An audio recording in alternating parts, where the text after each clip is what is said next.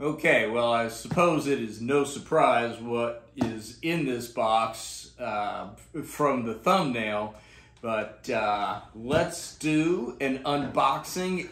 All the other YouTubers do an unboxing of something at uh, at some point. So let's see if it uh, made the trip okay. Open. I'm hoping we have a good packing job, and so far everything looks good. All right, get this out of the way. Get this out of the box. Get okay. All right, so what we have here is the um, Science Fair Electronic Project Kit number 201. This is a 50 in 1 kit. Uh, this came out in 1967, and uh, I got one of these. It was a gift from my parents. Uh, and my parents were very good uh, giving us kids um, a lot of um, science and learning and crafts type thing. I mean, we got, you know, we, we did get toys, but honestly, mostly we got things that we could learn from, educational gifts. Um, and uh, this is kind of what started it for me and why I'm still heavily involved in electronics uh, to this very day. So I pro this came out in 67. I probably got this, probably got this like 1969-ish or so. Um, and I just remember how thrilled I was when I opened this and never in a million years imagined it. So um, let's take the cover off and see what we have. Oh, nice job packing on the inside and I have not held this this book in my hand in a long long time. These were sold uh, from Radio Shack. So um, here's the speaker the battery pack um, wire for the antenna the little earplug um,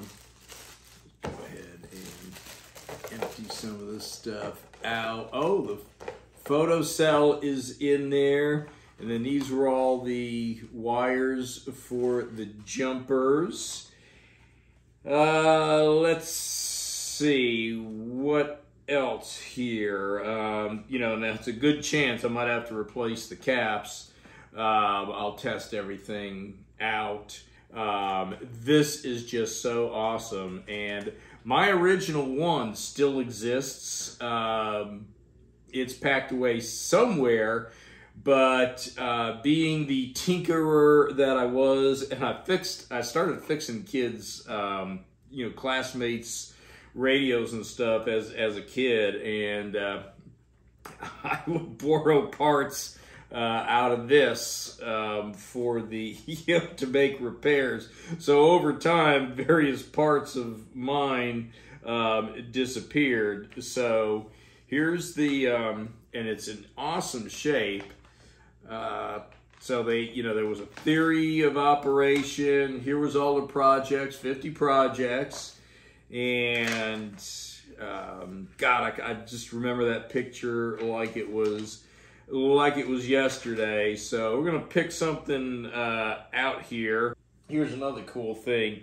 This is uh, the original wire antenna from my kit. And my dad, uh, this I think was a box that had something to do with our dryer. And this was a big deal. We got a dryer you know, back in, you know, the late 60s, early 70s, and that was a big deal. And and anyhow, um, I remember my dad actually cut this out, and you can see it looks a lot like, you know, what, what they shipped. And this is my original wire from my original uh, kit. This is an actual Radio Shack 9 volt battery that my dad would have got me as a kid, and I still have it, and it didn't corrode and get all crazy over the years. So, uh, looking it over and looking at the picture here, um, we have the. Um, oh no, it's in there. It's in there. Oh, cool. So the only thing we're. So here's the uh, the nine volt connector is actually in here. So there's the 9 volt connector. And this is for two C cells, I imagine.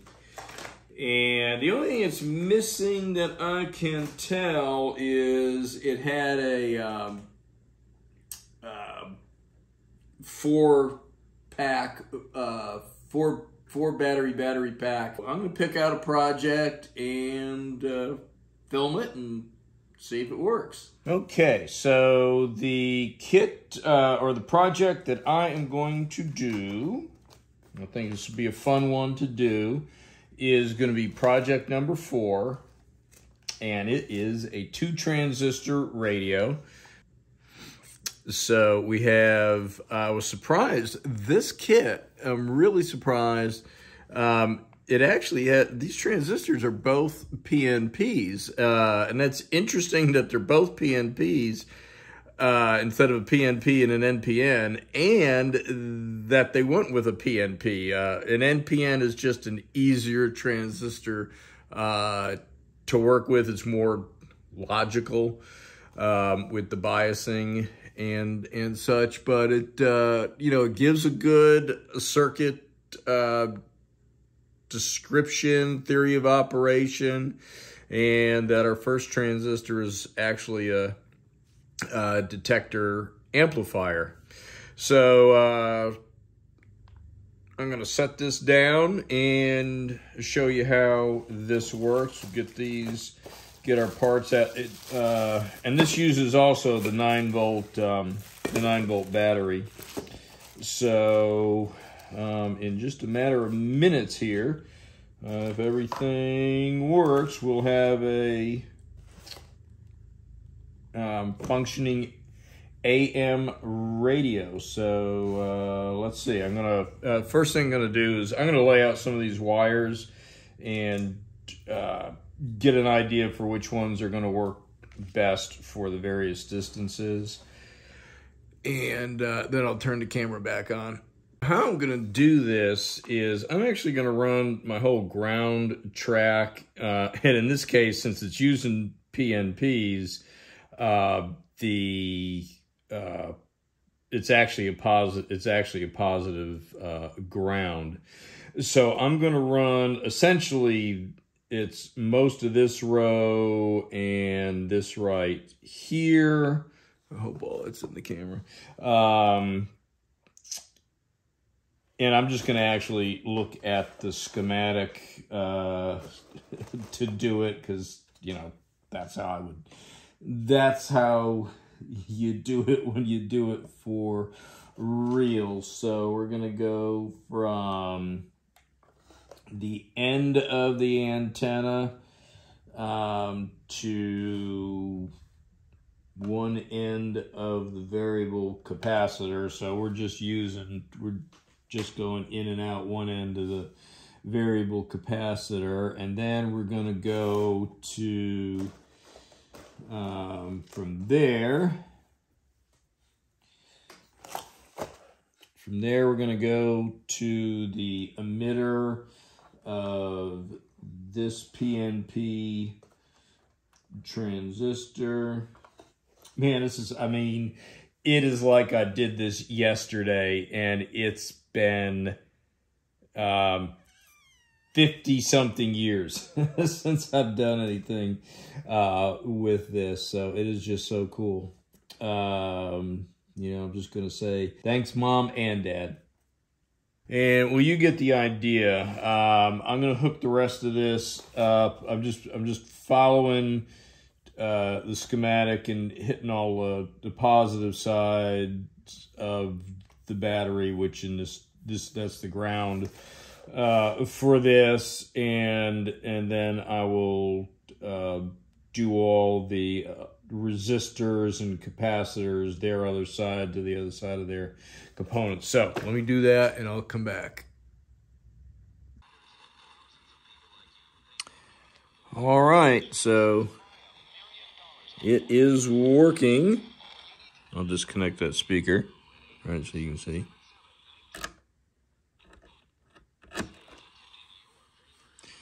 So it's picking up WSB, which is the local big 50,000 watt station. Now it's nighttime, so they've cut their power back, but uh,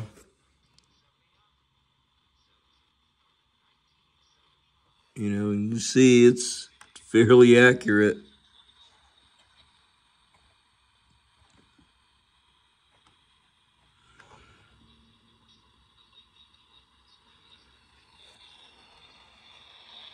Where it's picking it up. So, um, yay.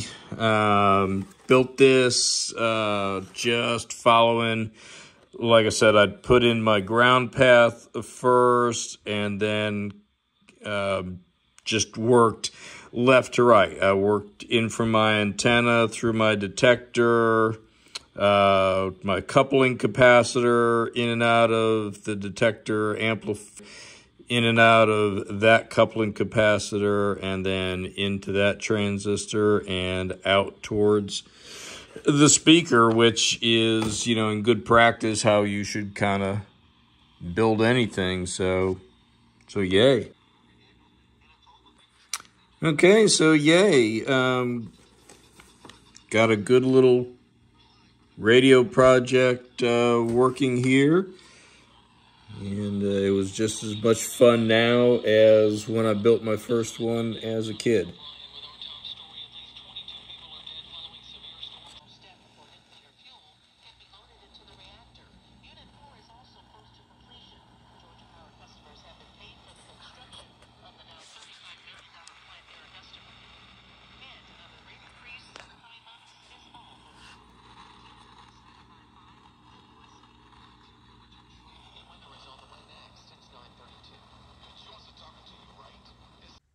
Well, I sure hope you enjoyed this video of building the uh, two transistor radio, actually uh, being able to tune in a station here at work using the uh, 1967 Science Fair uh, 50 in 1 project kit number 201, originally sold by Radio Shack.